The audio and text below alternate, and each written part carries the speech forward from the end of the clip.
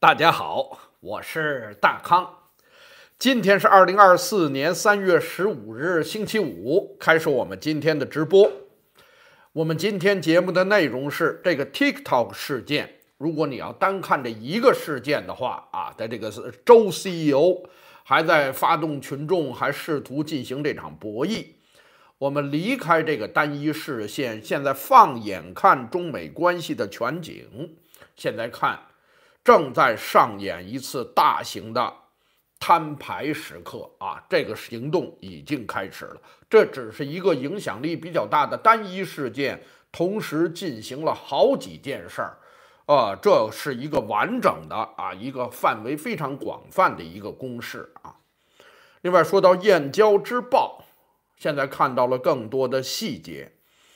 嗯，那现在到底是那个炸鸡店给弄炸的，还到底是怎么回事呢？现在更多的迹象指向是施工挖地铁二十二号线，他们挖断了天然气管线，把主干线给挖断了，最后引起了大的爆炸。现在看到这，因为我们现在也没有证据，现在只能说越来越多的迹象指向了这个方向啊。另外说到呢，最近农夫山泉批斗大会现场直播，最后钟老板的母亲不幸去世了，这可是中国首富啊！最后呢，得到了这么一个下场。那现在有更多的细节，原来娃哈哈和农夫山泉之争，其实背后是国资和民企之战。一会儿给大家讲讲这到底是怎么回事儿。另外说到万科十二家银行啊，在上边的命令之下，这是国企啊，这得救啊，那怎么办呢？十二家银行给凑了八百个亿，这一看万科没事儿了，呃，不行，更多更深入的报道讲，坏了，这次万科大概是真的挺不住了啊！我找到了两篇相应的报道。可以交叉比对，证明这次啊，这个整个房地产这个班的模范生这次要躺下了。当然，最后呢，说一个争议，实际上这件事儿呢，我之前说的很清楚了。那说到法轮功到底是不是邪教，怎么又说起这件事儿来了呢？啊，有朋友给我来信说：“大康，你再说说这件事儿吧。”后来我讲呢，我想我说说就说说，为什么呢？因为这次呢，是由李南央大姐。他托朋友发了那么一篇长文，是李大姐再次挑起了这个话题。说到跟南央大姐呢，中间还有一点小的过往，就是关于法轮功啊，我们还是有一个小的来回的。一会儿呢，也跟大家介绍一下，简单呢再说说我的观点。节目开始，还是先给大家介绍几个重要的国际新闻。先说台湾，金门这儿是真不太平，前一阵翻了个船。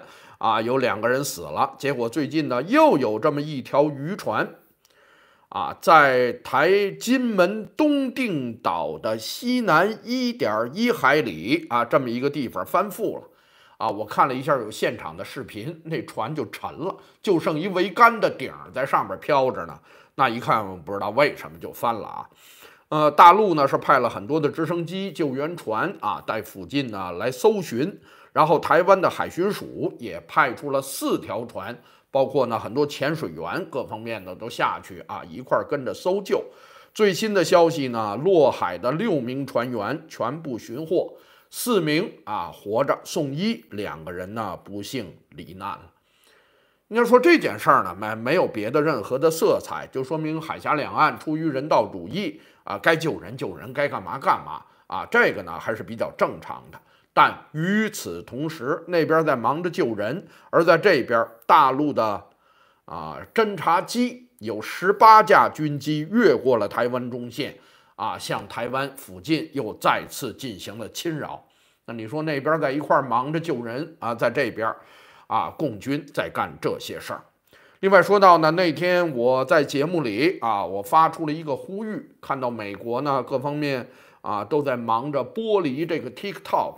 至少让中共把那只手拿开。说到这个呢，我的感触是，特别是关注完了这次的台湾大选，知道呢，台湾已经被渗透的到了相当可怕的程度了，比美国严重的多得多。而看着美国那边大家万众一心，忙着啊，在在那折腾这个 TikTok，而在台湾呢，啊，大伙儿都在那看热闹，好像大家认为这事儿跟我有关系吗？啊，当时我是发出了这样的一些评论了。那有很多媒体就问到台湾政府啊，是不是也也要跟随美国禁止 TikTok 在台湾的这种延伸、这种发展呢？结果台湾行政院的发言人讲，他们会持续关注美国国会立法的进度。我们先看美国人怎么样，然后呢，他们也会综合考虑各界的意见。那。还 还有看美国，那你到底有没有安全的隐忧，有没有安全问题啊？实际上，国安局长蔡局长啊，在前两天呢，在国会明确讲，TikTok 的风险已经带有明显的国安问题了，这说的是很明确的。哎，他要看美国那边怎么样，这跟你有关系吗？不明白啊！一看呢，台湾无论是在各方面，那个螺丝都不够紧啊，好多东西。都不在状态啊，这个是没，哎，这这是应该批评的啊。哎，最新我看到加拿大可能也要加入对 TikTok 的围剿，他们要对 TikTok 进行安全审查。尽管这还在前期早期阶段啊，这也开始了啊，这也开始上手了。来吧，下边说说香港。香港这件事儿呢，现在当然啊，主角就是这个二十三条。哦，这帮人忙啊！这家伙，这个一帮人啊，这夜里都不睡觉啊！这个呢是风风火火，要火速完成整个对二十三条的修正。首读完了以后过了啊，然后到二读的时候呢，很多人是提了一些意见了。然后呢，要快速完成这个修正案的审议啊，大概有四十个条文啊，里边不妥吧，都要做一些修正。啊，大概整个的这个做完，啊，实际上他说是三十九个小时就完成了逐条审议，实际上就在一上午啊，基本上就差不多逐条审议就完成了啊，这这这这，就快点把这事儿给弄了就完了。那现在呢，嗯，《明报》等一些报纸呢是做了一些报道了。那原来大伙儿二零一九年忙什么呢？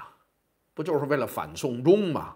现在呢，哎，加上了这些罪名，现在有四条罪类可以把人送交到内地啊。这里边主要是管理各种各样的外国媒体在香港接受访问呐，或者是怎么样，这都不行啊。另外呢，有四项罪名直接就送终了，就到这么一个地步啊。这里边呢，主要是啊，外国和境外组织、非政府组织、新闻机构啊这方面的涉及到这方面的被告将移送内地处理，啊，这是很厉害的啊。呃，现在看香港立法会法案委员会啊，整个星期四花了一个上午，昨天上午花了四个小时，就完成了这四十项条文的审议。啊，他说三十九个小时是提出完了，过了三十九个小时把这事儿就平了。所以说，在下周三之前，二十号之前，基本上立法会会完成二读和三读这件事儿，快点就过了。原来说大概在四月十五号之前把它完，嗯，等不了，可能在三月底这事儿就把它弄完了。哦，这是很厉害的啊！特别是现在《明报》登的这个呢，大伙儿都比较害怕，比较关注。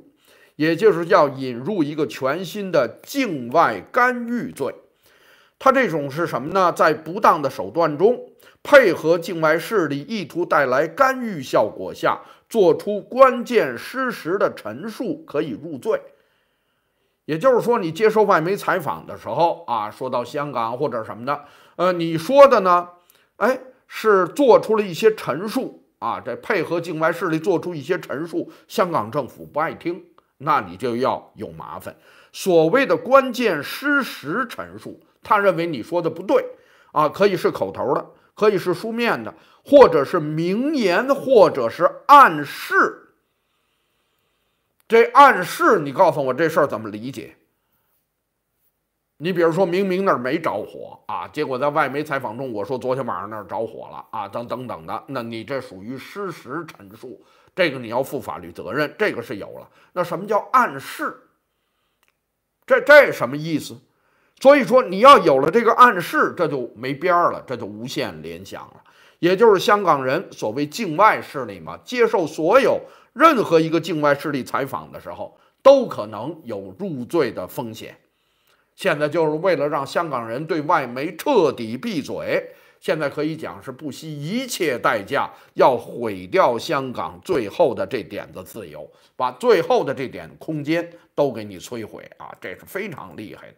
来吧，下边说是日本，看看股市今天怎么样？今天呢又降了一百六十多点儿啊，现在是三万八千六百九十九。说到今天呢，上证啊，昨天呢三千点守住了，掉了十几个点儿，今天呢还在掉啊。很多人认为呢，今天可能三千就三千以下了。恒生呢，昨天守一万七也没守住啊。你想他在这折腾这个呢，守什么守啊？这基本没戏了。给大家介绍一下日本呢，我今天看了日本的一篇文章，啊，觉着很有意思啊。日本目前那是春季嘛，春季一场大戏叫春斗，谁跟谁斗啊？是工会和资方斗，每年到这个时候都是一场大戏，那就跟每年过去啊，中国多少年间啊，这多少年前吧。一到这个季节，过年的时候，差不多这个佃农要和东家也上演这么一场斗，捡租子、捡息等等的啊，这也要谈一次。好多时候都打起来，恨不得就出人命，每次也都出现这样的事儿啊。日本现在面临着这个春斗，那斗的情况如何呢？啊，现在呢有很多的工会啊，把他们斗的结果给公布出来了。咱们先看日本最大的工会——工会联合会，他呢要求涨五点八五的工资，去年涨了百分之四点四九，今年要涨五点八五，定了吗？啊，今天晚些时候宣布，到现在谈的应该说非常接近了。日本金属工人工会他们争取到了一万四千八百七十七日元的加薪。这是二零一四年以来的最高，去年拿了八千多，今年几乎翻倍。然后日本制造业工会，他们六十个下边附属的工会拿到了百分之五点三二的平均加薪，大大超过去年的增幅。本田平均加每每年的加薪达到了百分之五点六，这是一九八九年以来的最高水平。全全日空。加薪也是五点六，也是九一年以来的最高水平啊！Toyota 一下每个月加薪两万八千四，这也是一九九九年以来的最大加薪。日本制铁啊，整个的这个月工资创纪录的提高了三点五万日元，涨幅达百分之十四，这就是拼了。人家那五点几，他一下日本制铁涨了百分之十四，超过了一九七九年以来的最高纪录。永旺今年要给四十万员工和兼职的涨百分之七，然后日产啊同意把这个公司减涨一万八，这也是二零零五年以来的最大涨幅。什么情况？平均都创了三十年以来的最大涨幅。日本它活了。日本恢复景气了，这现在不用斗啊，直接就夸夸这这就这么涨，因为东家也赚钱了嘛啊，工人大家这这一看，这确实是啊有感。前一阵慢岸田那个民调一直在二十几，为什么呢？你看这股市那么涨，百分之将近八十多的人我无感呢，我怎么没感觉到日本经济好成这样？这就快感觉到了，这马上工人就涨这么涨钱，那可以了啊。说说伊朗，这就令人叹息了。这个呢，其实我们在节目里之前就做过这个判断，在美国大选之前啊，关于和伊朗之间的事情，关于在红海这嘎达地儿啊，这打这个商船的这块的事情，拜登呢到底是派特种部队进去干，还是呢哄一哄、揉一揉，最后这件事儿啊偃旗息鼓，大选完了再说。我基本认同是第二种。啊，因为你要派特种部队进去，那又扯起来没完没了，弄不好还会继续的扩大。啊，前一阵儿啊，国际原子能那个那那那总干事格罗西不是讲吗？伊朗把那个摄像头又给扯了，等于他们现在提炼浓缩铀，我又不知道到底什么情况了。也可能他们在俄罗斯的帮助下，他们给了俄罗斯那么多军火，弄不好已经帮助他们完成了核提炼，那这就事儿就坏了，他们就有核弹了。这么重要的事情，美国一声都没吭，所以说这就充分证明拜登在伊朗这块准备怂了。现在呢，两边啊就红海袭击事件，美国和伊朗进行了秘密的会谈。在阿曼举行的这次会谈，旨在结束德黑兰支持的胡塞武装对航运的袭击。拜登呢是一软到底，在这儿彻底绥靖了。那耍混蛋就可以得到这个，就可以逼降拜登，那这个就没意思了。所以说，拜登这不止一次了啊！每次到这个麻烦的时候，拜登呢不是去解决这个麻烦，而是回避这个麻烦，最后把这个麻烦就留在了那儿，随时可能会再次引爆。这就是拜登啊！所以说他善于谋划，他一直是一个参谋性的人物，他不善于决断，他不善于呢行动来真正动手，快刀斩乱麻来解决问题。嗯，这是他的一个主要的弱点啊。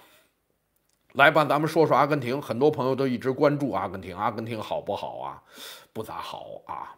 上个月整个的新增加的通货膨胀率就又增加了百分之十二点三。那整个南美里边遥遥领先啊，剩下其他的国家人家才三点几，他那儿一下十三点二啊，十三点二，我这还念错了。到什么程度呢？去年的整个十二个月啊，它的整个的通货膨胀涨了百分之二百七十六点二，二月份又给添了百分之十三点几啊，这个就实在是太难了。说到委内瑞拉，这是一般我们印象里那都毛的都不行了。去年十二个月才涨了七十五点九，那三七二十一，那阿根廷是委内瑞拉的三倍还拐弯儿，这情况是非常严重的了啊！食品价格各方面也都腾腾的涨，这家伙这这真够劲儿啊！这可以啊！土耳其前一阵儿这不是猛吗？人家通整个的通货膨胀才百分之六十七点几，你这一下百分之二百五十多，这真够意思啊！真够狠的。另外呢，这是一算账的来喽。阿根廷央行和中国央行签了一个六个月的啊货币互换协议，等于呢他弄了很多的人民币。但是呢，这六个月的协议到今年的啊到今年的六月，这东西就要到期了。到期呢，看米莱和中国目前的这个关系，大概是不续了。啊，你想续，中国可能也不想跟你续了。那既然不延期，那以前你使了人家那么多人民币，对不起了，你得还，拿啥还呢？现在还不上啊！从二零零九年以来，每次这事儿到期的时候都还不上，但每次都顺利的延期了。但现在呢，这媒体报道，米莱政府和中国的外交关系正经历一个特殊的时期，麻烦 啊！到时候你得还。中国的钱啊，还得上还不上？这，但是米莱他兑现了啊！我和中国之间的关系啊，什么金砖啊什么的都别扯了，不像以前那样了。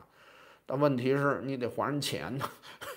说说以色列，以色列现场直播的这个故事，在一个小咖啡馆，几个人呢正在有男有女啊，在那排队买咖啡。其中呢里边有一个穿军装的弟兄也在那儿排队。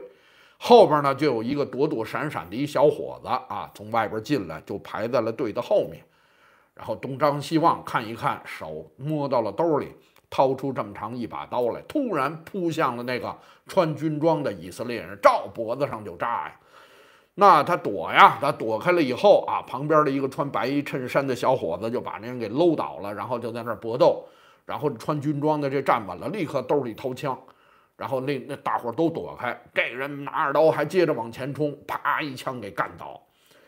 这个应该说是非常厉害的啊！这个在在以色列呀，这个就出现了这样的一个事情啊啊，这是挺可怕的啊！这这随时都会翻脸，都会出现这样的情况。那这人谁呀？第一时间以色列媒体把他给扒出来了。这个凶手呢是二十二岁的，叫法迪。或者叫拉蒂夫啊，拉蒂夫是他的姓他竟然是一以色列人，他他是加沙人了，但是呢，他是通过和以色列公民结婚，最后入籍以色列的一个加沙人。他十八岁的时候进入到了以色列，他今年二十二岁，在里边已经生活了四年了。哇哦，在这生活四年，在这还有家。你想，他又入了国籍，最后呢，还在这儿试图行凶伤人。为什么呀？他也不认识那当兵的，那这就就是要干啊！我我就是，最后呢是两颗子弹给搁在那儿了啊！是嗯，可能没死透啊，可能还在抢救，这不知道了。现在呢，里边有三个人受伤。另外，以色列呢，这不是把整个的物流给控制了吗？各方面不是这个圣母情怀泛滥哈，都要给东西吗？那好，给我。我押送，我来分配。现在看呢，以色列国防军宣布，首次由他们全控制的啊加沙物资的运输和分配任务大获成功，挺好啊，这弄得不错。下边准备大幅增加物质援助的通道啊，这就照这方来，这这办法还可以啊，老百姓也挺满意，大家都拍手称快。啊，他这儿呢认为啊也也挺好，反这东西不能给哈马斯，不能给联合国的那个机构，啊，昨天呢他们评价 弄挺好的啊，这个这这获得了成功啊。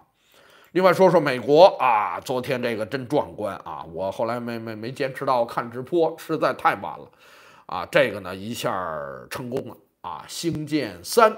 啊，这是第三回嘛，这大胖子给推上去了，这确实是不容易啊。这星舰三，呃，应该说是可以说这次是取得了巨大的成功啊。这次呢，首先起来了啊，这个三十三台这个猛禽发动机全都好好的工作，推着这个大胖子进入到了预定的轨道，第一个成功。然后呢，整个负载它就是装东西的那个舱门。做开关测试圆满成功，最后有一个重大的东西，NASA 什么的都提出了大的表扬啊！推进剂内部转移测试完成了成功。重点说是最后的这个，这个特别了不起。本来还有一个，你既然呢不是把燃料燃烧完了推上去了，它呢，然后你又把别的储存的燃料又给重新给续上了。等于二次加油给续上了，然后在太空里边要进行二次点火，再次把三十三台猛禽给点着，再回来。因为你要去火星去哪儿了？你去了，你不能不回来。哎，我首先能在空中自己完成这个燃料的补充，然后同时再次点火再回来，这个特别具有重大意义啊！就最后的这一步没完成。但是前面这个推进剂的内部转移完成了，这是什么呢？这就是空中太空加油啊！这件事儿可不得了啊！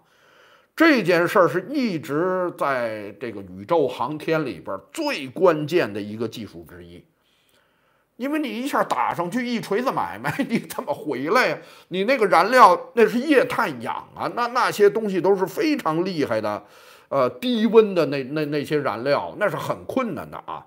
在空中自己完成加油，然后自己重新点火再飞回来，这是一个重大的一个一个进步。结果呢，他们在这上边确实成功了，这个是爆造成了一个技术上的大的爆炸。推进剂内部转移这个技术是太难了啊！当然这次呢，啊，就最后那一哆嗦不是特别完美啊，没没回来。啊，没，比如说指定了一个地方在那儿降落，最后没回来，啊，那个空中二次点火也没做，啊，这个呢是，嗯，不知道到底是出现哦，它有一个空中点火，但我看到一个最新的报道，啊，三十三个引擎只有两个启动了，也就是大部分的都没启动，那说明是不是你这燃料是不是还没到位，还是怎么着？这个他们自己在研究了。但是呢，前边这三大步取得了成功，才第三回，这已经是了不起的一个伟大的一个成就了啊！这个太了不起了。三月十四号，为什么是昨天？整个是这个猎鹰，就它这个星舰系统的二十二岁，他们这个工程，他们整个的这个事业已经搞了二十二年了。为什么当初选三月十四？我猜了。当时马斯克呢，应该是致敬爱因斯坦。爱因斯坦的生日是三月十四号啊，这是我个人的一个猜测了。小马怎么想的我就不知道了啊，这个确实是太了不起了。昨天很多人啊都跟着他一块儿激动，一块儿悲喜交集，非常了不起。最近呢，马斯克尽管特斯拉股票跌得跟狗似的，现在已经到第几了？早不是首富了，现在可能第三了啊！那因为特斯拉一下掉了百分之几了，百分之五、百分之八，可能都不止了啊！它这一直在跌，但是在最近，它首先完成了第一个人脑对接，叫人机对接，真和脑子连上了，芯片和脑子连上了，现在通过意念可以控制鼠标了，可以到这么一个程度了。哇，那要是霍金先生还活着，那他一下的那还不得乐死啊？用他的眼睛就可以直接控制电脑屏幕，那太了不起了。而且这次呢，星舰产生了历史性的跨越，没说嘛，和这样的人处在一个时代啊。你像我们啊，经历了乔布斯啊，给我们送来了智能手机，现在又和这个狂人啊，我们身处在一片天空之下。这算是我们的幸运啊！这算是我们就见证这个小家伙，他能把这活儿给干到哪儿啊？真的是有可能在我们的有生之年，嗯，这大胖子真的能干成就是成了太空 boss 了。这真的是在太空里边跑来跑去，我们还能活多少年？希望他在二十年内啊把这活儿给干了。希望我们能看到这一天的发生啊！来吧，说说美国呢？说说有一个新的民调，这是路透和易普所的这个民调，这个民调还是有些声望的。呃，现在最新的民调呢，嗯，拜登百分之三十九啊，然后川普呢是百分之三十八。最近呢，这是出的第一个民调，马上就在等完这个周末，应该有四五个大民调都会陆续的出结果。这里边呢是经过了拜登的国情咨文。也经过了川普的关于 TikTok 的突然掉头转向啊，所有的这些因素都加到里面，最后看对两个人的声望有什么样的影响，很多人都盯着呢啊。现在看呢，在误差范围之内，两个人基本是平啊，啊，大致是这么一个情况了。另外说到福克斯今天的一个报道。呃，大伙儿都知道，那初选都结束了，拜登和川普都高票通过了自己的党内初选，那事儿不就完了吗？别忙，福克斯有一位专家叫马克·蒂森，他做了一个分析，他说海利呢，在上个星期二就超级星期二之后，这不是退了吗？结果在前两天的乔治亚和华盛顿州的共和党的初选中。他还是分别得了百分之十三和百分之二十的选票，在初选中，也就是在共和党以共和党党员或者是主力的支持者为主的这个基层中，海利竟然赢了将近三百万张票，这是很多的，这不能是大选了，这是在整个共和党的基层民众中，他搞了将近三百万张票。而且他们有多少次民调？这个福克斯的讲说，这三百万人中有百分之五十到六十的人，他们已经明确表示不会在十一月份把票投给川普。福克斯这是保守派，这一般是支持川普的呀，人家这算是相对客观的。他说，如果这东西要真的发生的话，那川普是赢不了的。啊，这是今天早晨啊，福克斯的一位专家他的一个说法。另外呢，川普还有一个新闻，本来大伙儿等着看呢，三月二十五号，川普这封口费这事儿和那风暴女之间的那点子烂事儿开审呢，哎，结果突突突然出了一个波折，检察官，也就是起诉的这位检察官埃尔文，他突然向法庭申请，要求延长一个月。这消息一出，川普那边都懵了，原来我们一直申请延长。他不是一直想拖这件事儿吗？法官都不同意，哎，结果检方他主动提出要延一个月，这什么意思啊？原来检方找到了新的证据，他们找到了一些新的所谓的重大证据，啊，但但这这这个，因为你证据你要给法官看，同时你要也给对方看啊，啊，对方呢也要研究，准备做出抗辩啊。这个呢要给双方时间，最后呢给了双方一个月的时间。所以说三月二十五这这场戏没有了啊，拖到四月份了。哎呦，这对川普阵营来说，原来想拖都拖不了，现在突然人家那边主动拖，说找到了新证据。川普这边啊，这可是啊，这到底是福是祸？现在这事儿不好说啊。现在这事儿啊，弄得川普这边还是蛮紧张的。你又找着什么了？是这不知道啊。另外说到国会这儿呢，经过了漫长的拖延和等待啊，麦克约翰逊呢，最近压力是巨大的。啊，你老顶着乌克兰这点事儿，那儿哇哇死人，受得了受不了啊！最后呢，现在准备对乌克兰的援助做出一些修改，他准备把它付诸表决了。呃，麦克约翰逊和共和党这边在参院的领袖麦康奈尔啊，加上呢这边大将麦考尔这几个重量级的共和党的参议员、众议员。啊，商量完了以后，这都是什么委员会的主席呀？这个这都是共和党内的大佬。商量商量完了以后，说你这么顶着肯定不是事儿啊。然后呢，提出了一些修改。这里边比如说，啊，有一部分的援助，六百亿嘛，咱别都是白给了，能不能有一部分改成贷款或者是租借？另外呢，再拿出一部分来，因为美国扣着俄罗斯好多钱、好多东西呢嘛。啊，你就别让美国出了，让俄罗斯直接出就完了嘛。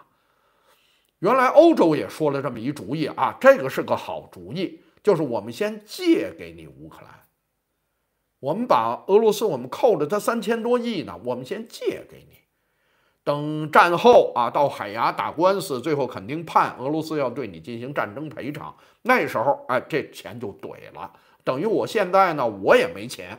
哎，但是这儿有这么一大块钱，我也不能拨给你，因为这个海牙还没判呢，这个不合法。我可以借给你，我先挪用，啊，是这么个路子啊。我看呢，麦克约翰逊他们现在也准备用这个方法。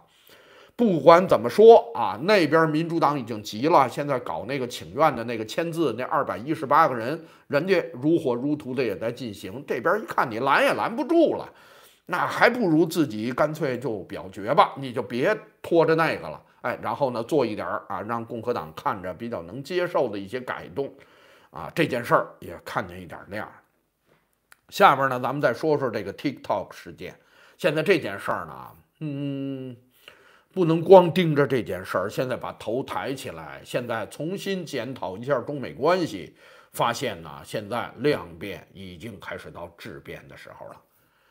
这件事儿只是众多事件中的一个标志性的事件，只不过呢，它名头比较大，涉及的人比较多啊，这个大伙儿比较关注。其实很多其他的事情同时都在发生。先说说最新的进展，关于 TikTok 这件事儿，中国呢，首先那王文斌啊，他说你那抢我们东西，或者是怎么样，在那胡说八道，我就不驳他了。另外呢，中国外交部在昨天下午发布了一个。六千多字的调查报告，说美国所谓的言论自由的事实真相，啊，根据这个 TikTok 这个事件，说你美国的言论自由名不副实，啊，他搞了六千多字一篇文章，还在那儿怼呢。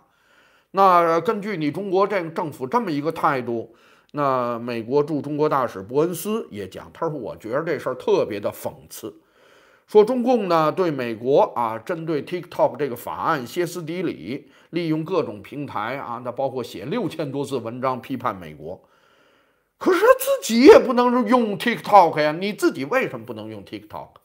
你为什么当时把 Google 包括把什么 YouTube 这些东西都轰走？你为什么？你当时的理由就是国家安全哦，为了你的国家安全你不让用，我们那儿就不能提国家安全，我们就非用不可。你你这这什么道理？你原来这些东西，什么 Facebook 啊，什么 Twitter 这些东西啊，因为它的数据库在美国，因为这是美国的平台，所以在中国就不让用，因为安全。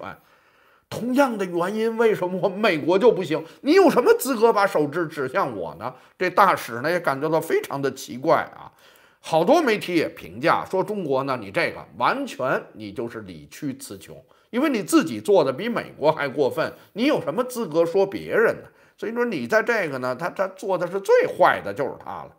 这是第一个进展。说到第二个进展呢，呃，我看了一个法律专家的解读，他们仔细把加拉格尔的他们这个反对啊美国人被外国人控制的这个法案，他们读了一下啊，好像也不长，大概四十多页，他们大概浏览了一下。后来给我来信说：“大康，这事儿还不是那么简单，因为这件事儿呢，这个法案可不是专门针对 TikTok 的。哦，可不是专门针对这个的啊，因为是不让美国人受外国人控制，那这棍扫一大片，这事儿就多了。除了这 TikTok 之外，微信呢？微信的国际版实际上也属于这部法案的限制范围。”那那个拼多多那海外版那个叫什么呀？Tim，这样中资背景的购物平台也必然会受到波及，因为什么？这里边同样涉及到消费者的个人信息，还有那 S 打头的那叫什么我都不知道啊！我我我平时也不关注这玩意儿，呃，都涉及到个人信息啊等等，都涉及到对美国的国家安全构成威胁。说大坑，你可别小看这个啊！这可不光是对 TikTok，第一步是 TikTok，之后这些东西啊，这就一个一个的来，全部肃清。就像中国当时以安全为由，把所有的外界、美国的外那那些社交平台全赶走一样，这个谁也跑不了。哦，这还有这样的延伸呢啊！人家是读过那四十多页，大概是这么一个啊，这这么一个范围。然后说到第三个进展呢，前财长姆努钦正在组建一个投资集团啊，大伙儿正凑钱呢，准备收购这个 TikTok。那大概多少多少钱？现在有一个评估说，这个现在美国抖音现在价值已经两千亿美元了。谁花两千亿买它呀？我估计最后能给一百亿美元就不错了。上次甲骨文好像忙了半天，就这就出二十多亿。你这次能给一百亿，我认为就不错了。那所以说呢，谁知道啊？这个，那你说落到努母亲手里就好吗？我也不知道啊，我对他也不是很了解啊。然后说说川普他们这派人的这个对这件事儿的反应。那川普说了几声，好像人说川普好像也没有认真挡这件事儿，他也没干嘛呀，他只是接受了几个采访。呃，不是这样的啊。在国会里边极右的那个美国议员那马大姐啊，格林，他公开表示，他完全支持同意川普对 TikTok 的支持，他也支持啊。他表示反对 TikTok 的禁令法案。他讲保护这个 TikTok，保护字节跳动公司在美国的合法运营，就是保护美国人民和我们宝贵的第一修正案给予的言论自由。这是他公开讲的啊。那现在川普呢，依然还是在高调支持 TikTok。他在造势的场合，包括在接受媒体采访啊，他依然是一个论调。那很多下边的人，他的支持者，包括在国会里的，包括很多的川粉，那和这位马大姐的说法也是一样的。那保护这 TikTok 就是捍卫美国宪法，保护言论自由吗？那但是。从川普往下，这帮人又开始奔脸书去，又要那你要封他，还不如封脸书呢？那脸书就没有言论自由吗？那你为什么非要留着他呀？那要把脸书给禁了，要禁他，咱们先禁脸书，脸书的威胁更大，更反人类啊！这是他们的观点。难道眼脸书就不具备 言论自由了吗？这里边这为什么单挑出来，非要单独捍卫 TikTok？你你你你把这个逻辑跟我说一说，我我有点不太懂啊，这个我有点不太明白。下边呢，咱们把它提炼一下。如果要是把 TikTok 事件只作为一个个体事件，它咱们就盯着这件事儿的话，我发现呢，这事儿把它看小了。它现在是整个美中关系中全景中的一场戏，一个片段而已了。现在出了好多事儿，就在最近这几天。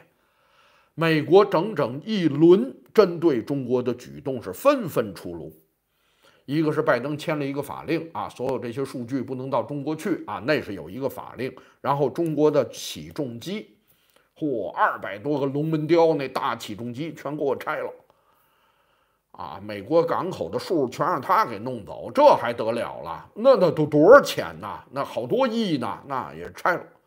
另外呢，对新新能源汽车要科这高关税啊，现在呢越来越多的迹象表明百分之二十五啊，然后欧盟准备跟这百分之二十五啊不够再往上涨啊，这是对电动汽车。然后在整个这七千多亿的国家预算里边，第一次把台湾单列，你别看就列了一亿美金，这可不得了的事儿啊！好家伙，这美国的政府的预算。把台湾列进去，把台湾当美国国内的事务来处理，这可不得了啊！另外呢，还有众院啊说到的这个 TikTok 的剥离法案，不光是这个，前两天说到参院通过了一个不能使用中国这个药明系这三家医药公司的原材料，不能用了。当时导致这三家公司股市当时跳水大跌，而这事儿就完了吗？这事儿有发展呐！结果就在昨天，美国全球生物技术工业组织表示，将剔除药明康德的会员资格，终止了合作。你这参院只是一个委员会啊，这个当然是全体通过了，参院还没做出决定呢。结果这个委员会人人家这个组织就搞这个药品的这个协会，直接把他会员资格给剔除了。就已经终止合作了，结果昨天导致这几家公司的股价再次大跳水，就到这么一个地步啊！不光是最近美国的大动作频频，就发生在三月份以后，这才十几天的功夫就出这么多事儿。最近这些日子，美国的官员的话现在也是越说越狠。商务部长雷蒙多前两天在菲律宾访问，在马来西亚这边访问。说到了对中国的科技围堵问题，这里边首先说了两个让人比较震撼的点：说每天早晨我都醒来，我都要问我自己一个问题，我们还能不能做更多？好家伙，就琢磨中国这点事儿，每天早上起来第一件事儿，我先问我，我们做的够吗？我们能不能再做点什么？这是一个啊，另外一个点，他保证他他讲，我们不能让中国为了军事进步获得我们的尖端技术，我们将不惜一切代价来保护我们的人民，扩大我们的管制。一个是夜不能寐，我们做的够吗？第二，我们将不惜一切代价，也就是商业代价等等的，我们都现在不管了。这是商务部长的说法，没听没听过这个。原来你要川普政府的商务部长，包括什么呢？那莱特希泽谈判代表也没有说过这样的话。另外，最近呢，这不是给台湾列在预算案里了吗？最后在解释这件事儿的时候，国务院的副国务卿维尔马也讲。首先，我们必须利用一切可以利用的手段来超越中国。为了我们的国家安全，我们必须拥有强制性、可靠的资金来超越中国，赢得和中国的这场竞争。我们必须利用一切可利用的手段。你要在中国来说，你要我写字儿，我比较简练，那我就基本就四个字儿，叫不择手段。难道不是这个意思吗？差不多吧。好家伙，不惜一切代价，利用一切可利用的手段，这些话以前都是出于中国官员之口啊，从来也没有听到过美国的高官使用这样的语气，没有过。结合刚才上面那一系列猛烈的动作，这可不是偶然的啊，各行各业的，加上美国官员这种决绝的态度。我看有专家评价，在美国看来，美中竞争已经是两国之间的生死较量，这就是一场灵活零和游戏，不是你上去就是我上去，不是你死就是我活。美国必须赢得这场竞争，否则的话就会败给中国。有专家认为呢，从川普时代起，美中的竞争已经打了七年了。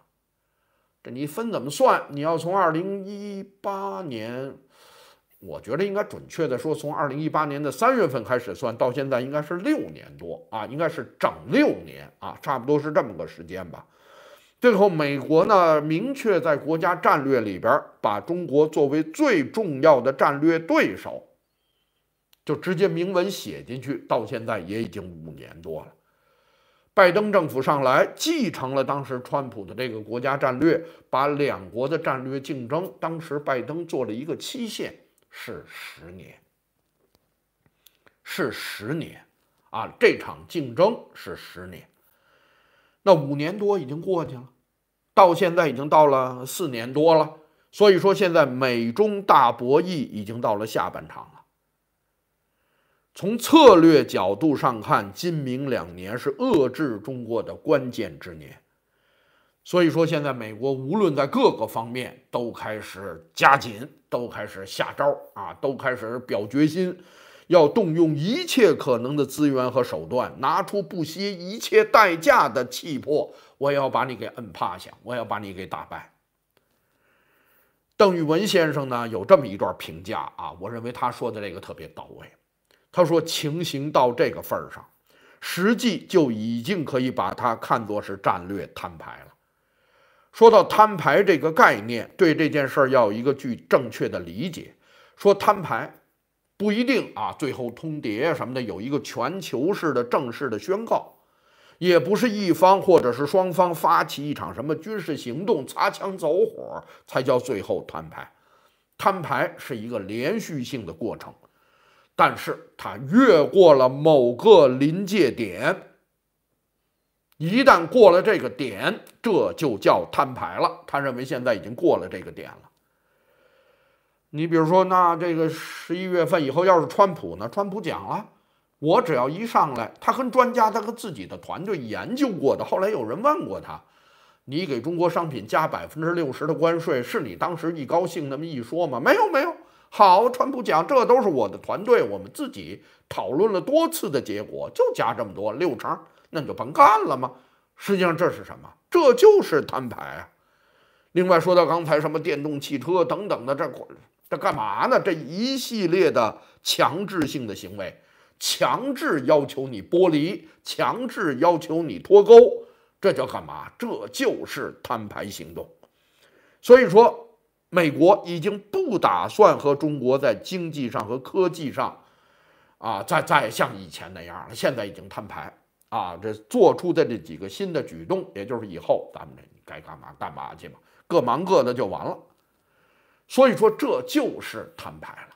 中美关系已经进入到了下半场，已经过了摊牌的那个点。刚才这几个点，TikTok 是代表作啊，这已经到这么一个程度。面对这样的摊牌时刻，美国人的高官们都把这话都说出来了。中国那边情况怎么样？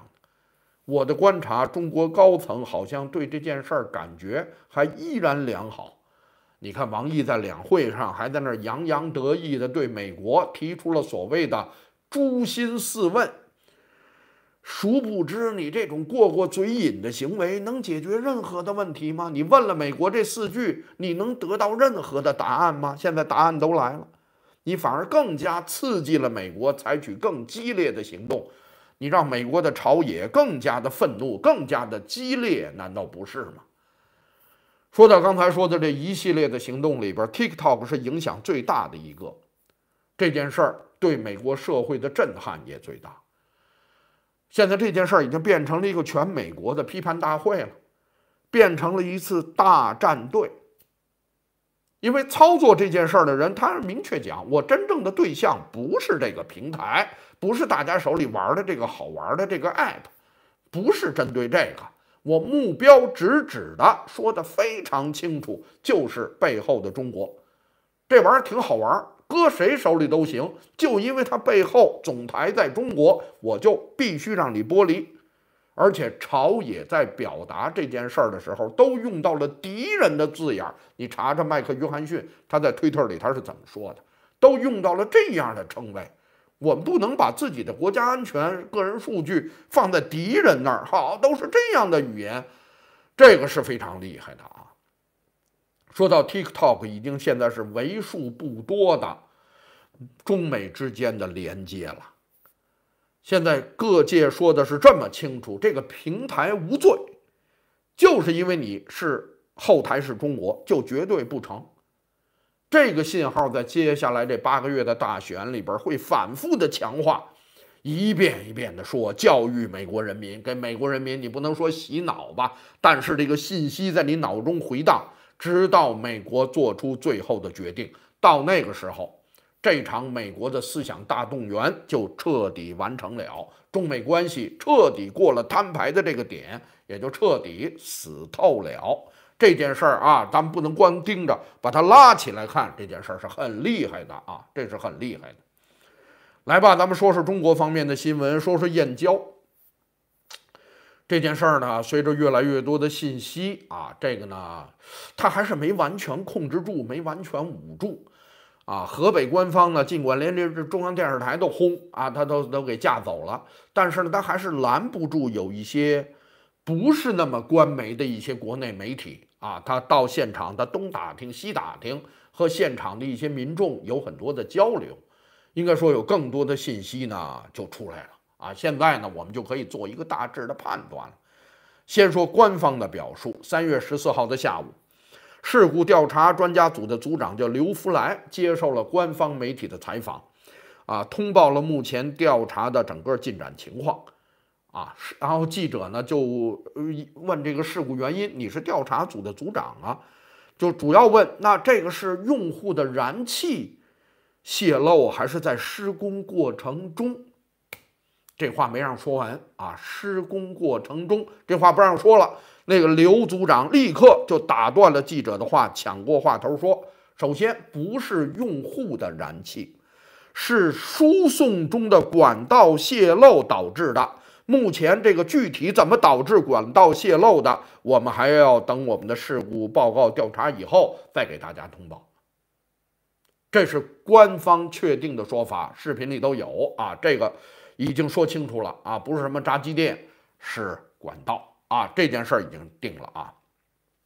那说第二条。中国官媒第一时间，他的报道，这这连中央电视台都跟着说，所有这一条线全这么说，是这座楼的一家炸鸡店的燃气爆炸导致的。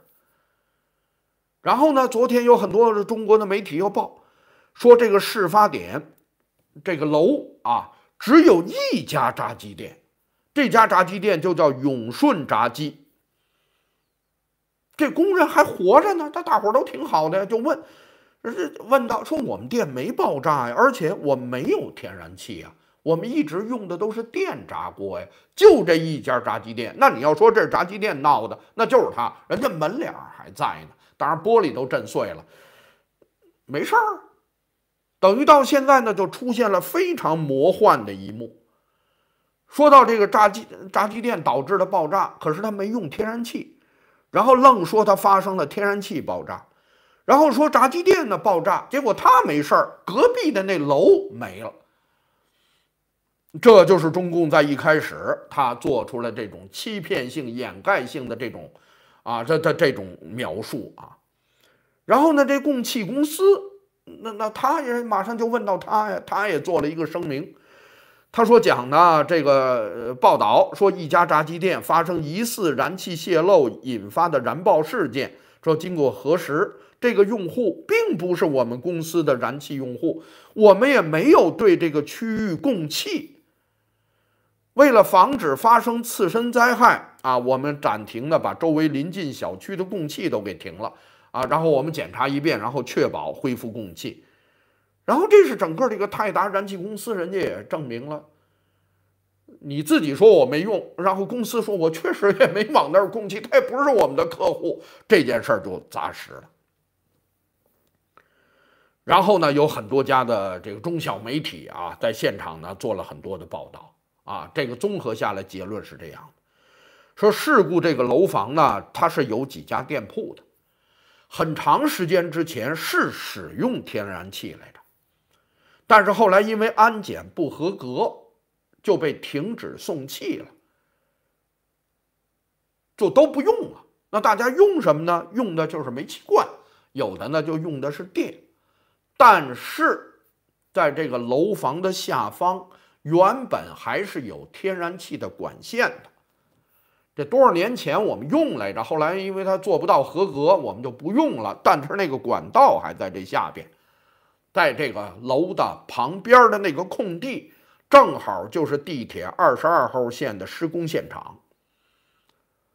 穿过那儿奔这楼底下，正好在半截上，所以说当地有很多居民啊，纷纷就跟这个媒体都都讲，说实际上就是地铁施工的时候把天然气管道，就是那个主管道给挖断了，最后打出火，或者是不知道怎么样啊，最后引发了猛烈的爆炸。说到这些媒体里边啊，一个稍大一点的媒体，它的名字叫《凤凰周刊》啊，我们都是知道的了，它是率先披露的。他说呢，当地居民就就只就就说啊，说引发天然气泄漏的，就是在旁边施工的地铁二十二号线的施工现场。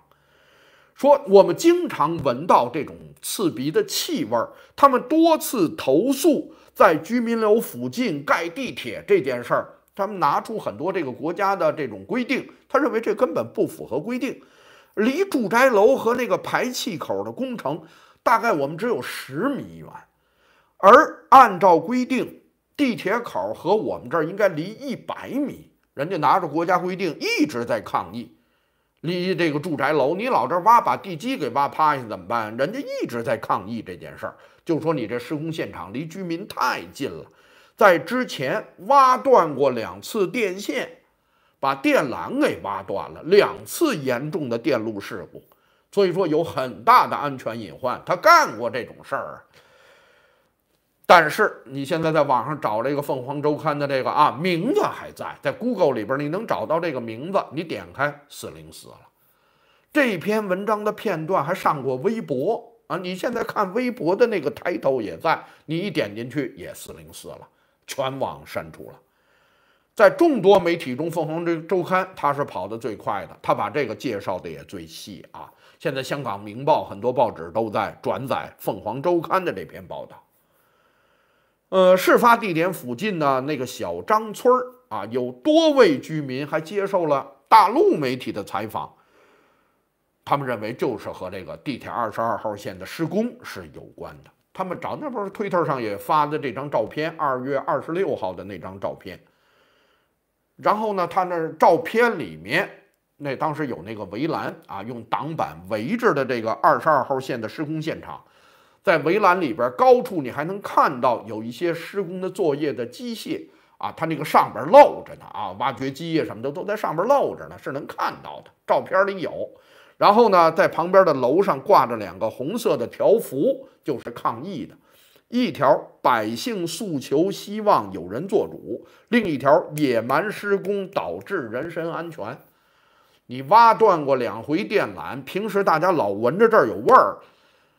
所以说这件事儿呢，是一直就存在的。然后这儿就发生了血腥的三幺三大爆炸。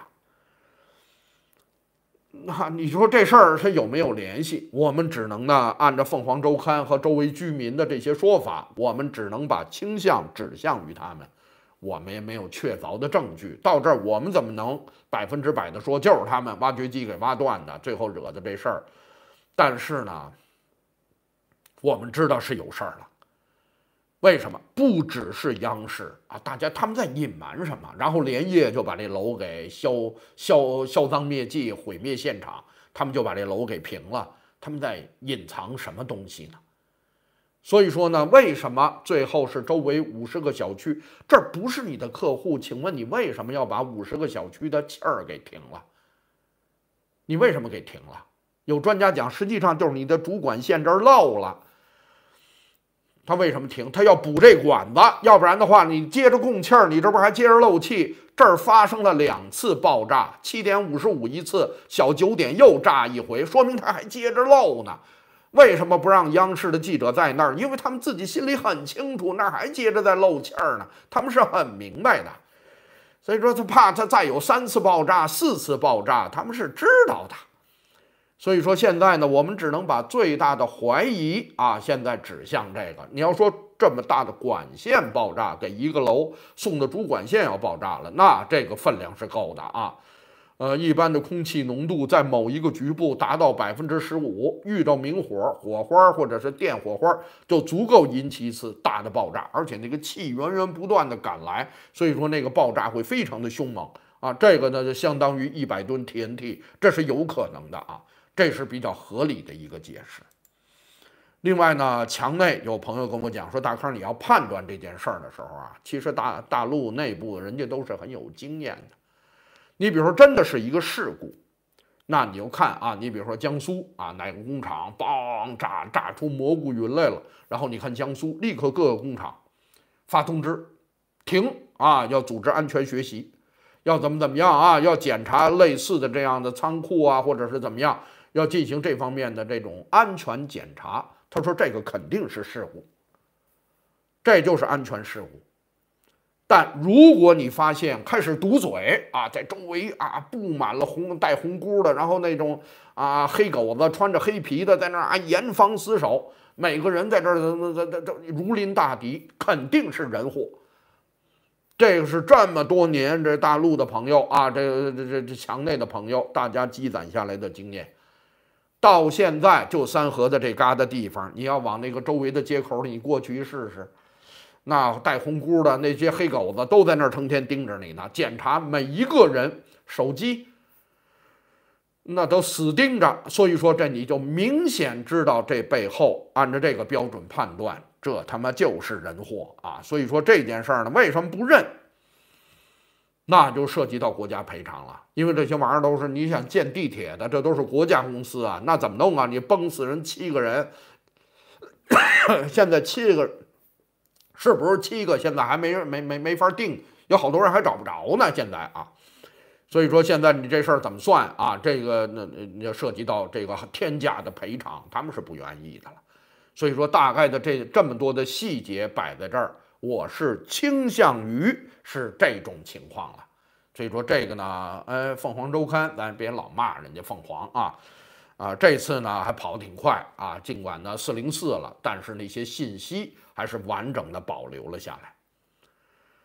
那下边我们就说最后一问题吧，我们在这儿都挺激动啊，跟着一块嚷嚷，你看这事儿我们要追求真相啊，我们一看当地啊出现了这样的惨祸，我们都很同情。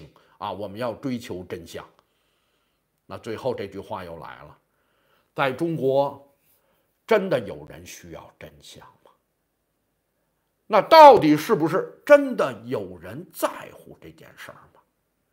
紧跟着在三河就出现了这么一个事儿，这不是网上都在这儿啊，一个说着流利中文的一个洋人小伙子，拿着手机好像在街上那儿瞎拍啊，在那儿晃，立刻被革命群众给围了。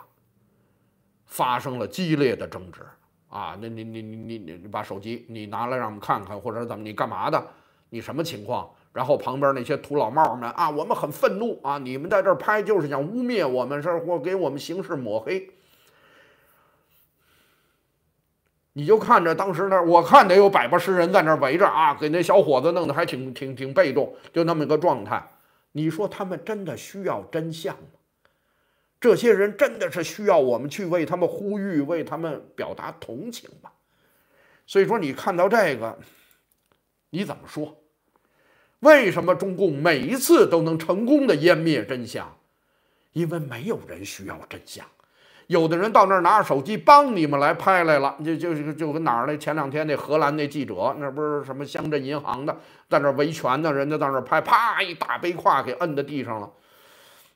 最后是啊，你，那你作为现场民众，人家来给我们说话来了，那我们怎么着也得帮这个洋哥们儿一下。人家记者为我们报道来了，根本没人管，甚至还拍手称快也说不定。对，这帮人就是来抹黑我们来了，这这就就是，所以说，你说你说什么？下一步呢？那这种事儿啊，有墙内的专家呢给我发私信讲。说大康，你就等着吧。从今年开始，我不给起了个名儿，今年叫动荡元年嘛。他说差不多吧。他说呢，整个的高发期，事故的高发期，这天灾裹裹挟着人祸啊，各种各方面的原因。他说这就进入到了整个的高发期。为什么呢？从九十年代末期一直到二零一零年这段时间。这将近二十年的时间，中国是大干快上，同时这一段时间呢，大量的豆腐渣工程，这种管理又非常的混乱，又是中共贪腐的一个高发期。到日子了，啊，这这这这二十多年，当时那二十年建的这些玩意儿啊，到现在那该维修了，该保养了，该出事儿了，桥梁啊什么的，所有这些东西都差不多了。铁路啊什么的，住宅公管那些什么水啊、气儿啊、电呐，这些管网也差不多到日子了。所有的基础设施到时候了，那你说怎么着啊？政府现在也没钱，背着地方债，他哪有空给你管这事儿？所以说你就看着垮楼塌桥的等等这些事儿是一个接着一个啊。这也不是说这盼着大陆天天出事儿，这是个客观存在。就那二十年啊，这个这是。啊，风风火火盖了那么多东西，最后呢，这该付出代价的时候了啊！这是墙内的一位专家朋友的一个说法了。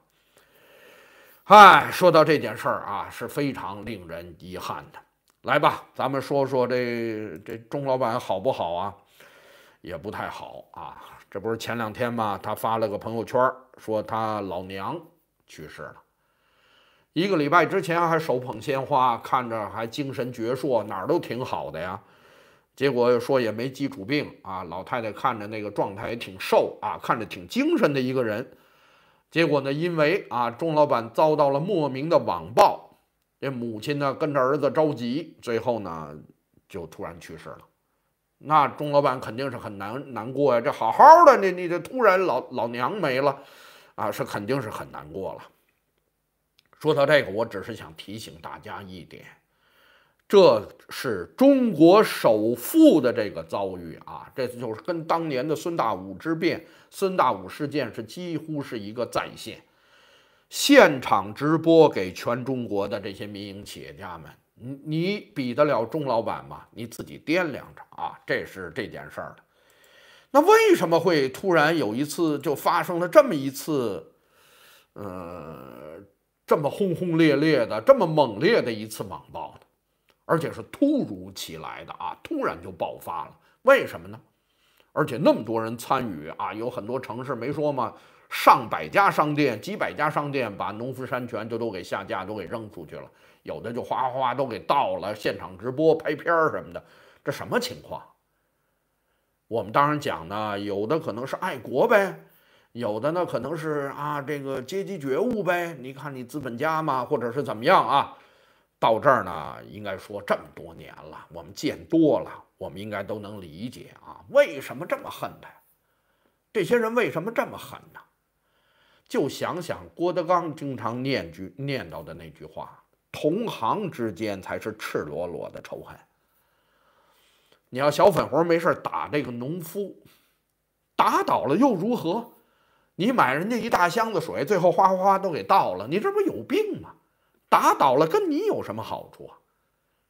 所以说，只有同行之间才是赤裸裸的仇恨。我现在有点归纳出来整个的脉络了啊。对这帮人没好处，但是无利不起早，为什么要干这个呀？这帮人下这么大功夫干嘛呢？做了那么多直播，一定是在拿钱干活嘛？这个我们还不知道吗？所以说这里边各种原因，我当初讲资本之间的搏杀，或者是各方面，当时我还不太确定。但是我确定的一件事儿是，整个的这次风暴里，唯独没有的就是爱国情怀，就是所谓的阶级觉悟，就没有这个，都有可能是别的什么什么原因啊，就是没有爱国，肯定不是因为爱国，肯定是因为利益嘛。那现在呢，这。那农夫山泉人家也不是白给的呀，对不对？人家也有写手啊。在经过了一轮这个网暴之后，人家现在开始还手。我看到呢，人家把娃哈哈弄的什么钙奶，把你的配方往那一多，那么一晒，你这不是科技与狠活吗？你这什么玩意儿？你这现在开始零星的进行了一些反击，但是呢，有一个反击一下把事儿给说清了。说到这两家同行之间又在同省同城，那是你死我活呀！把一家的市场占有率就跟百事和这个可口可乐那个状态，他们俩是差不太多的。摁死一个，那得利的全是我嘛！我觉得这个呢，那那是很明显的啊。那哇哈哈一般认为呢，这是宗老板呀，这是一个民营企业呀。结果现在这边也开始反击，也把他给扒出来了。你呢？不是一个民营企业，实际上你是一个国有企业。他现在呢里边讲说，娃哈哈的最大股东是浙江杭州上城区什么文商旅投资控股集团有限公司，占股百分之四十六。那这家公司是谁呢？实际上就是国有资本运营公司百分之百控股的，百分之四十六控股这家公司是百分之百的国资，那也就是国资控股百分之四十六。那宗庆后本人呢？他只有百分之二十九点四的股股份啊，他实际上是娃哈哈的第二大股东。那国资是第一大股东啊？那你比如说了，那你你也不是吧？你毕竟你才只有百分之四十六嘛，你你也不能说它都是国资嘛？呃，这个已不是百分之五十一那概念了，原来曾经是百分之五十一来着，国资啊。最后呢，不明原因转让了百分之五，给转到哪儿去了？转到职工持股会，给转到那儿去了。但是那里边有明文规定啊，这个股东实际是股份，实际上是一种象征性的经济奖励，你们只有分红权，没有任何股东的权益，等于呢就把那百分之五暗含的挂在职工名上。但是那你你你你可不拥有啊，你只是跟里边站着分点红，实际上这次的转让没有任何的意义。四十六加上给职工转那百分之五，你就是五十一。国资控股，这是一个明白的事情，这是个国资。那钟老板那儿呢？钟老板百分之八十几都是他自己的嘛，他是一个彻头彻尾的民企。这是一个，所以说现在你就知道，同行之间才是赤裸裸的仇恨，两边的大搏杀在干嘛呢？我原来甚至以为呢，可能这个钟老板这儿刚没，你说娃哈哈有这心思弄他吗？会不会是别的看上这个钟老板这块市场了，折腾他？别的企业，这不是说中石油什么的，他们很多都进入到矿泉水市场，是不是别人眼红？现在看还真不是。哈，现在看呢，这就是国资和民企之战，就到了这么一个地步。然后呢，为什么这场网暴在上边没有得到任何的制约，没有任何的管束，任其发展？现在把人老娘给气死了，到这么一个地步，因为他们的背景是国资。现在基本这个大致的脉络啊，这个倾向就跟刚才那个说那个廊坊爆炸一样，也基本指向了这里。所以说，作为民企，作为私营企业，当你们和国企在争夺一个领域、争夺一个产业的时候，争夺一块市场的时候，你们至少在舆论上就不站在一个平台上。国资是可以利用这一块纠集一帮粉红，包装成所谓的爱国，都对你进行打击。你是百口莫辩，你完全就不是对手。你怎么说？啊，当然这两天啊，这种文章陆陆续续的出来，农夫呢开始做一些零星的反击，但你能纠结起那么多人来吗？你说多了，网信办就该管你了。所以说这件事儿呢，我们终于弄清楚、弄清楚它整个的背景了啊。那所谓我们印象中原来所谓民企的还有谁呢？实际上是国资的啊。这里边当然就是我们下一个要说的万科，万科是个国资啊。实际上就是国有企业啊，这个是没跑了。它的大股东是深圳地铁啊，这地铁最近亏的也是底儿掉啊。这个呢，这这这个国资啊，然后是华润啊，原来讲华润超市啊，雪花啤酒、三九感冒灵、东什么东阿阿胶，包括什么矿泉水，原来这一说也是民企，不是啊？华润也是一个民资啊，那国企。青岛啤酒，所有这些东西都是国企啊，这个他们不是民企，所以说说到这个，当两边争论着抢一个市场的时候，你是万万敌不住国资的，人家有网信办，有各方面全员的这种舆论支持，打死你易如反掌，就可以这么简单啊。另外下边呢，咱们就说说这万科，原来这不是前两天他们自己也讲，我们挺过来了，我们行了，是吗？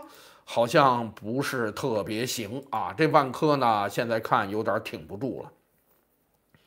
本来六个多亿美金的美债到期还不上，这不是麻烦了吗？结果那天凑齐了，呃，凑齐了就认为他没事儿了。但你后边还有，那叫今年大概要付三百五十多亿的外债呢，他拿什么付啊？啊，最后呢，上边啊有人这个这这就就让大家给组织啊，要求以工商为首的十二家商业银行啊要救这个万科。最后救不救？救啊！最后凑了八百亿人民币。啊，来帮着他还这些银行。这里边呢，除了他自己的债券啊，还有呢，银行里边有什么中农工建交通，啊，中银招商中信啊，兴业浦发民生和什么的等等的这一大帮银行，啊，最后呢，给凑了八百亿。他自己的证券可能到期的差不多就有五百个亿啊。那这八百亿搁这儿了，那我也不能这么贷给你啊。那我们都是商业银行。我也不能就这样上头打一条我就给你，那我怎么办啊？原来我们一直讲，其实房地产整个烂就让它烂下去，千万要守住自己的核心，那就是金融，那就是上边的关键的商业银行，不能让这个溃烂向心脏里边蔓延。结果中共现在受不了了，一看房地产完了要影响社会安定了，开始让保险，开始让银行逼着他们去救。你等于是直接引毒攻心，你这不是自己要命吗？啊！但现在呢，这些银行也不傻，我不能白给你钱呀，你得抵押呀。你还有东西没有啊？你有什么什么么物业，能不能咱们抵押一下？我把这钱给你啊。到现在为止是真没钱，能抵押的东西都抵押出去了，能卖的好资产都卖了，现在就剩下一屁股债了。那现在没有抵押，没辙啊。那银行说也成，看着上边的面子，没抵押，有担保也行啊。那你能不能有担保啊？刚才说大股东哪儿啊？那不深圳地铁吗？那你来了行不行啊？但深圳地铁也没钱了，他已经给万科支援了一百亿了。深圳地铁。他现在这个入股万科，他自己在这块的账面已经亏了二百零八亿了，而且深圳地铁自己也是亏损单位，他自己也活不了啊，没有政府的补贴，他自己都运营不下去了，而且已经亏了二百零八亿，前一阵又给你贴了一百亿，我上哪儿给你弄钱去？他也担保不了。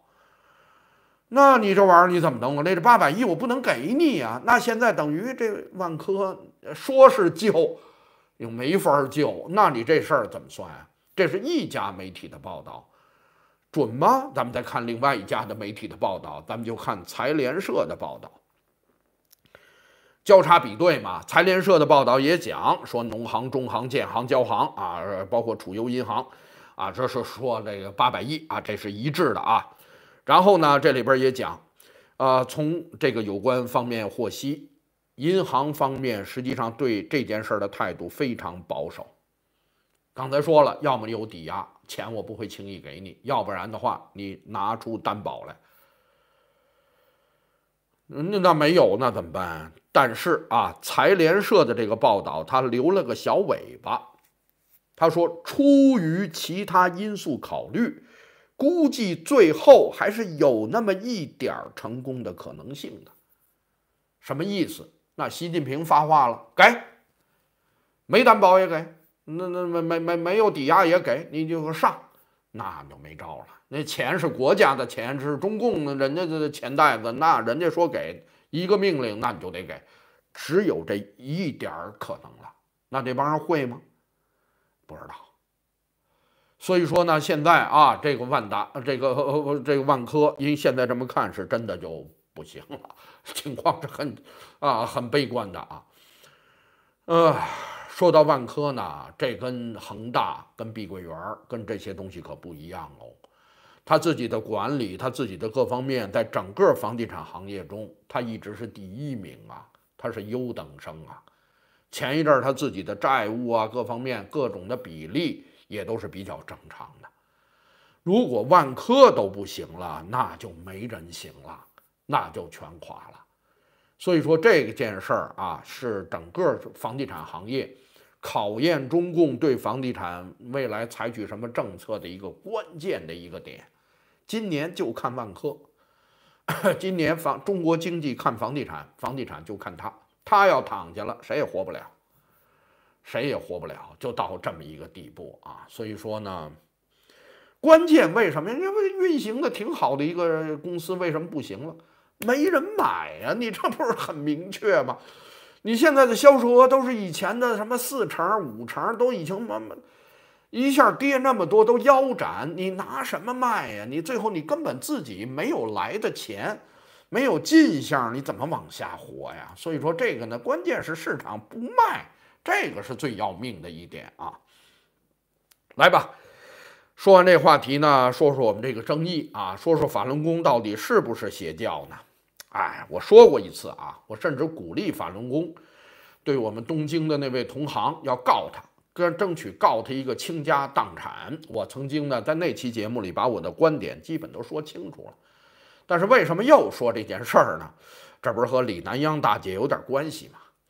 啊，因为李大姐呢最近啊通过她的一个朋友，她发了一篇长文啊，在里边呢对法轮功，她也提出了她是邪教等等这样的一些。啊，她的一些观点啊，应该说，我看到李大姐的这篇东西，我有点小意外啊，因为呢，我知道原来李南央大姐呢，一直和法轮功的一些媒体啊、一些频道，他们一直合作，一直在做节目。说到在半年多前，甚至更早的时候，有一次李大姐呢给我来信啊。啊，：“那我是很高兴啦，因为我对老大姐一直心目中啊，我是很尊重、很敬仰的啊。那对，包括对老李先生，那都是没得说的。后来李大姐呢那天找我，就是这么一件事儿，说呢，反龙宫媒体里边啊，有一位主持人呢叫方飞，说通过李大姐呢，能不能找我看看能不能加入他们的节目啊，作为一个嘉宾呢，平时参与他们的节目啊，是这么一个意思。”啊，当然呢，对方飞主持人啊，我印象也是不错的。他的台风啊、口齿啊、他的专业素养啊，那都是专业的啊，那都是没得说的。但是后来呢，我几乎没有什么思考，我第一时间我就通过，我就跟李大姐讲，我说呢，法轮功呢，他们有些事情我赞成，但是也有很多事情我不赞成啊，里边有很多观点我也不是太同意。所以说呢，我跟法轮功当时我这原话啊，我跟李大姐就四个字：敬而远之，保持一定的距离。你要大家走在一块儿啊，那那是文明礼貌，大家一块儿热烈拥抱那是没问题。你要说一块共事呢，我还是有一些啊，我还是想保持一些距离。当时我就是啊，公开的跟李大姐就这么讲啊，我说呢，您就替我回了就完了啊。首先呢。人家看得起我，我表示感谢。但是呢，我说你就可以把我直接的这个理由就转告方菲女士就可以，这个没有任何的问题啊。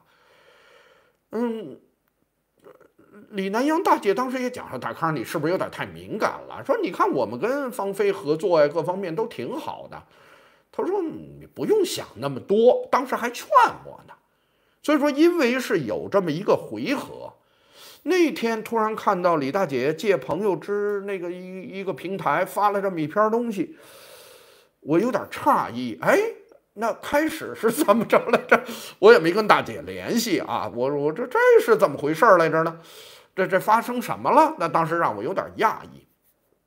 当然呢，有朋友知道啊之前的这过往，后来就跟我讲说：“大坑，那你给再再说说这件事儿吧。”我说：“那我再简单的说几句啊，这里边呢。”就结合着李大姐在文章里边，啊，她对法轮功的一些评论啊，我呢就针对性的说这么几个问题。我惊讶的发现啊，远在德国的杨佩昌老师，因为我之前说法轮功说了三四次了啊，我发觉呢，我跟那位杨老师，我们俩的观点是惊人的一致啊，我们俩的观点基本都是一样的啊，所以说今天呢，我也会引用他的一些观点啊，我们俩这观想法基本是一致的。嗯，这里边呢，南阳大姐说到了对活人崇拜的事儿啊，好像呢，只要有活人崇拜，那就是邪教。你比如说说到基督啊，包括说到一些啊过去的神，那这没问题。那你说现世的活人崇拜，这个肯定是邪恶的，或者是认为这个是有问题的。嗯，我认为这个呢是不全面的。是不全面的啊。首先呢，这个现世里边，那你说藏传佛教，你拿我们达赖尊者这件事儿怎么说？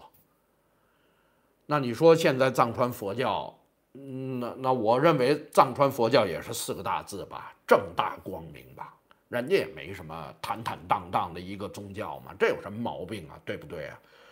据说这习近平这倒霉玩意儿，他母亲可能原来就信藏传佛教，我不知道现在信信不信啊？那藏传佛教有什么问题啊？那不就是现那个尊者还活着呢？那没问题啊。天主教呢？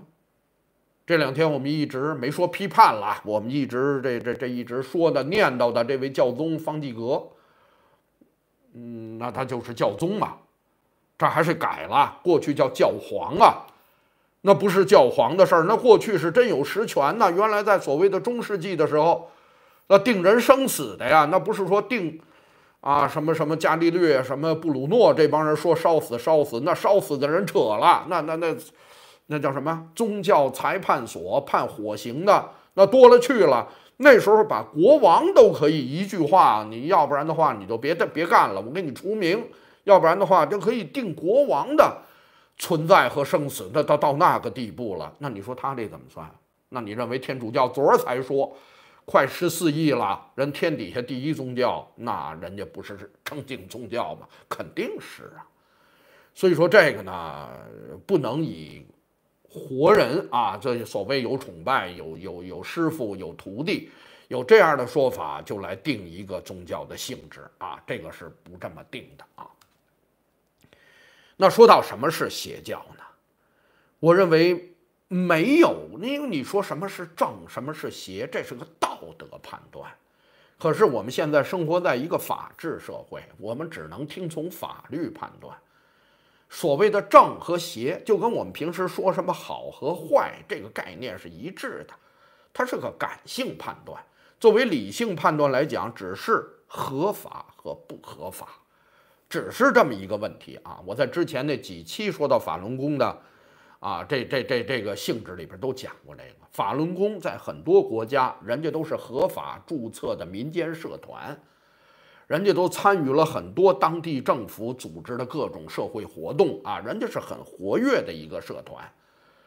你再是说这社团里边是不是在当地违法，或者是有什么样的问题，有什么事儿说什么事儿啊？至少我还没有看到，在世界各地啊，那你比如说主流媒体报道法轮功在那儿有当地的有什么破坏当地法律、违反当地法律的事情，应该是没有。那你说是不是妖言惑众，或者是怎么样？原来我也讲过这样的事儿啊。你比如说中共就说了，啊，我要自焚啊，那不天安门拿着可乐雪碧瓶子在那自焚，或者是我把肚子划开，我找找里边有有没有那轮儿。我就特别希望大家，中共的话你也信？那那么管着，那么打着，最后还要要自焚，还要怎么样？那那很多人就信众出来了，在海外呢。自由了，想干嘛干嘛，想拉肚子拉肚子，想自焚自焚。你听说过有这样的事例吗？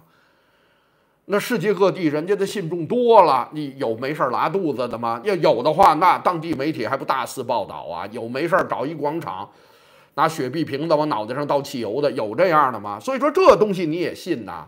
那自由自在，想干嘛干嘛时候都没干，你想在那里边非得在这儿表演这个去？所以说这些东西呢？啊，我认为咱们还是简单的啊，你也别说什么正教邪教啊，啊，这个不是你能划分的。这个呢，咱们就以合法和不合法，以这个为那什么，平白的。如果人家就是一个合法的民间社团，一个宗教组织，你们天天戳戳点点说人家是邪教啊，极尽辱骂之能事，平白无辱人清白，我认为人家是可以告你。我认为这个对人家来说是一个巨大的侮辱，人家这是一种信仰，所以说我认为这个是不合适的。另外呢，有很多人呢都沿用中共的一种说法，你比如说到你们海外民运，说到像法轮功这些人啊，你们一天到晚的还老说中国的事儿，你们回去还不如共产党呢，你们回去以后让你们掌了权，你们会是更加如何怎样？那你要把这事儿一说，这就和当年的希特勒和斯大林和毛泽东等等的，那就是你们就是一个腔调了。为什么当年对犹太人进行大屠杀啊？就是你们这些人，你们这些人要掌了权，要掌握了国家啊！你们在金融各方面，那国家就如何怎样？那些事儿还没发生呢，用一些完全没有发生、完全捕风捉影的一些事儿，你自己的一个简单的推理和判断，然后就凭这儿来定人家现在的生死，定人家现在的清白。我认为这个就更挨不上边儿了，这更挨不上边儿了。说到现在最邪恶的，我看杨杨培昌老师这段说的特别好啊，说法法轮功没请你去喝茶去吧，法轮功没有抓你去坐牢吧，没有封你的文章吧，没有强拆你的房子吧，法轮功在中国国内没有高干病房吧，没有让十三亿人最后只占有中国百分之五的财富吧。没有摘你的器官吧？没有干这些事儿，为什么你要对这么一帮人咬牙切齿呢？我明确讲啊，我不是法轮功啊，但是只是呢，根据李大姐她写的这篇文章，啊，朋友这也是激我啊，那是说说这也没什么不能说的呀。说他在文明的国家里边，我们看不惯的东西多了，比如说对穆斯林，比如说甚至对其他的一些更小的一些宗教、一些团体。比如说，在我们这儿啊，那个毛利人，你看那毛利那帮弟兄们，还咬牙切齿跳那个战舞，有的人是喝彩了，有的人一看这帮人有病吧，干嘛呢？这是，那不成啊！你要在一个文明的国家，你看不惯的东西，用你的文明准则，你认为这事儿不对、不合适，啊，然后你就采取行动来攻击人家，试图校正人家，你就是共产党啊！那不就是这个吗？包容。看不惯的事儿，你既然这事儿不能理解，您就多加了解吧，就这么简单啊！你就让人家这这各有各的活法，你管得着人家吗？人家也没碍着你，所以说这个你你我我也不知道这是怎么回事儿啊！当然李大姐那个呢，我估计过两天该给我来信了，又又又跟我解释一下这里边怎么回事儿。嗯，但是呢，这几个原则啊，具体发生了什么事儿我不知道。但是说到评价，无论是对一个弱势的文化，或者是对一个我们不理解的宗教等等这些东西，我们要多加了解，要一种啊，这个必须的一种平等的一种尊重。我没让你特别尊重、仰望那个，咱们说不上啊。己之不欲，勿施于人。啊，你这这别别让人家歧视你，你也别歧视别人啊，就这么简单啊。其实今天呢，我非常简单的啊，再跟大家说说我这种想法，啊，其实也没什么啊。来吧，看看观众朋友们的一些说法啊。今天呢，乌克兰战争没有什么更多的细节啊。C C Y Y 国安法是框架，二十三条是实施细则，必须的，可以这么讲啊，可以这么讲了。啊，啊国安法呢，这个是中央赋予的。二十三条呢，是自己的一个港内的地区法，人是严格要求自己的。但是呢，要把中国要把香港人往大陆送啊，犯了四项罪，他们就可以直接送终啊，这个是非常严重的。无言，今年的春豆满足率可望达到百分之百。岸田将宣布物价工资双回升。终止零利率政策，为失去的三十年画上句号。一开始看到“春斗”这俩字儿，这肯定是很有力气的。你想，这个工会和资方两边呢，没好听的呀，那斗嘛。你想想，最后呢，好家伙，都是三十年以来的最大涨幅。我相信今年呢，整个日本啊，作为民间百姓，对经济的好转普遍会有感。这要做不到，那下半年岸田这选举你也别干了，你就下去吧。麦田说今天火箭发射成功，股票暴跌。您说的是特斯拉的股票吧？那天是谁统计的呀？啊，是彭博统计的还是路透统计的？就说马斯克呢，最近这段时间，他每天是大概要回什么？每天平均六十条的推文。他东搭个西搭个，他你想他不光是这么简单看看呢，他肯定得得花功夫。结果你这个特斯拉，你有心思弄你的车没有啊？现在面对着中国过剩产能啊，那那那那这些廉价车砰砰打你，自己呢现在又不好好干，天天一天到晚扯这个没用的，一天到晚跟俄罗斯那儿什么的，这又不是你擅长的，好好琢磨你的车好不好啊？所以说最近呢，这特斯拉啊，这是有点问题，对倒三六条，这还是不对。如果地下爆炸应该有坑才对呀，怎么上半截儿没了？啊，气体啊，这如果要是他把这个这个管道给挖炸了的话，它会往上走的啊。这个气体呢，尽管它比空气要重，但是它积累到一定的量，它是那个火，它是往上爆炸的。我看到的一个现场的那个画面是个侧面，可能是二次爆炸。尽管二次爆炸没有一次爆炸那动静那么大，但上层可能是二次爆炸被摧毁的。啊，它这个二次爆炸，很多中国媒体都不都都不管啊，他他他都不报。呃，不到八点一次，不到九点一次，是炸两回呢。这就是为什么后来不敢让央视的去啊，好像呢跟燃气这事儿是有关。呃，讲呢，如果是输气管爆炸，理应沿线的管路都爆炸了才是啊，这个就不不了解了啊。它底下是一个什么结构，这个就不太清楚了啊，这个是不太清楚了。这跟沈阳的一条街那个一根管子，可能情况还不是太一样啊。这个咱们再再再再再再追，说我家没门，这位朋友讲私有是原罪。至少现在呢，国进民退嘛，啊，在各个领域现在赚钱的地方也不多。那天孙老师、孙立平老师的那个讲，你告诉我什么不过剩？你告诉我哪个领域挣钱，哪个领域没有爆发经济危机，不存在严重的过剩？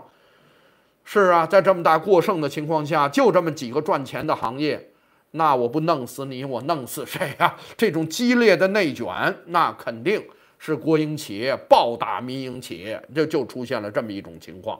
最狠的是发动爱国情绪，最后全方位的在市场上绞杀你，最后把人老娘给弄没了。你说真够狠的啊！就别忘了郭德纲说的这句话，我认为他说的这个特别典型。